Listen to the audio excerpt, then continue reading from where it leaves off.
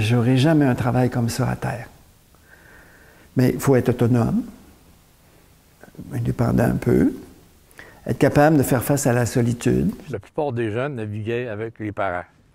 Parce que c'est de père en fils, là, dans ce temps-là, la navigation. Aujourd'hui, les jeunes ne pourraient pas faire ça. C'est trop difficile. La vie était dure à bord des goélettes. Moi, je trouve c'était tellement petit. Les cuisines étaient petites, les tables étaient petites. Il n'y avait pas beaucoup de place. Puis euh, le capitaine, puis les premiers se tenaient en haut dans la, dans la Wallaz, ce qu'on appelait la Wallaz.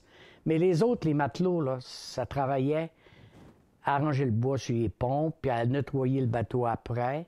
Mais ça couchait dans des, on peut le dire, des coquerons. J'aime le- l'espèce de. de- T'es déconnecté un peu du, du reste du monde, t'es déconnecté de la, folie du quotidien. tu le voyage, que tu te lèves dans une place, tu te couches dans une autre place. Il y a de quoi, tu là-dedans, tu.